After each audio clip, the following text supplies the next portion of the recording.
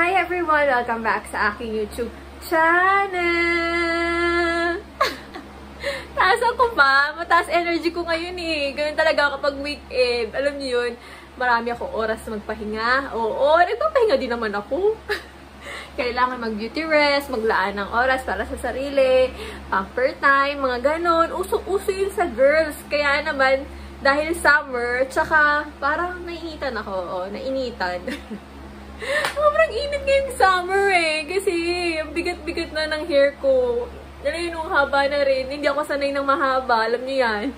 Kaya naman, samahan niyo ako dahil pupunta ako sa aking favorite na salon at magpapagupit po tayo today. Yes, today na. Kaya naman, samahan niyo na ako, ha? Let's start this vlog in 3, 2, 1.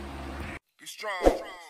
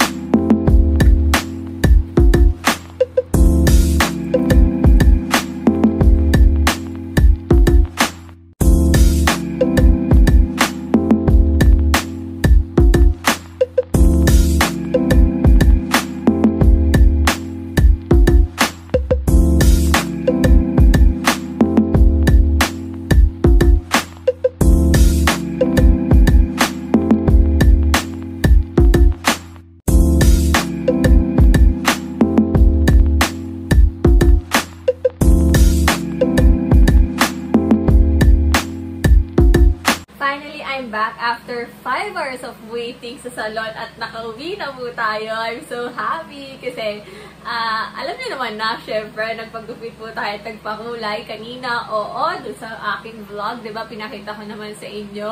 Ang dami talagang pinaggagawa sa aking hair. Kaya naman gusto ko namang i-share sa inyo dito sa aking vlog ang final result. Eto na po siya. Kitang-kita niyo naman. Syempre, lapit tayo para lalo yung mas makita. Saya! Oo, di ba? Oo, ikot na ako ha, para makita niyo yung isa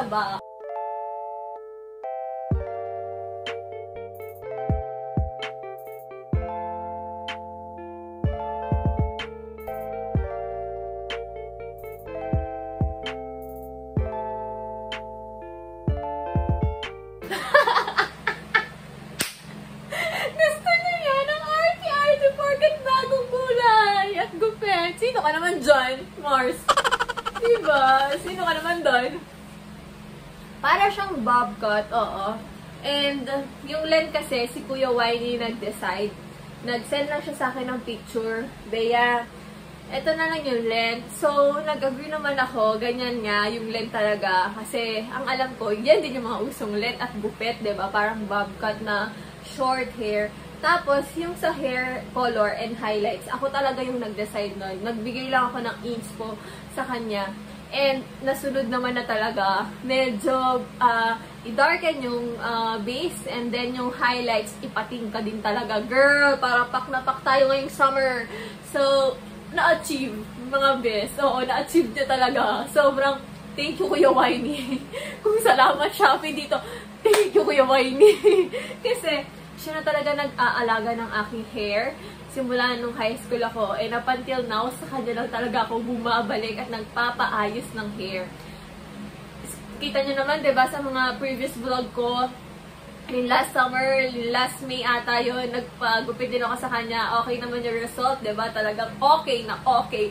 And then now, whew, parang nag-iba na naman po ang ating itsura dahil dito. Oo. Kasi I remember, last 2015 pa ata ako nagpaganitong short hair bago ako magpa-opera sa aking scolio. And then, ngayon lang talaga ulit ako nagpaiksi ng ganito. Yung dito lang. Kasi mga gustong mga short hair, mga puro layered, ganon.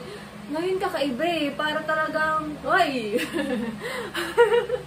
Wala ka masabi. Speechless talaga sa naging result. At, share ko na nga lang din naman. Opo, napagastos tayo dito ng 1K. O, kasama na doon yung hair color, highlights, and then yung gupet. Tapos, kung nakikita nyo naman sa aking mga kaninang video, di ba, kumain po tayo doon. Nagdala kasi ako ng lunch, oo.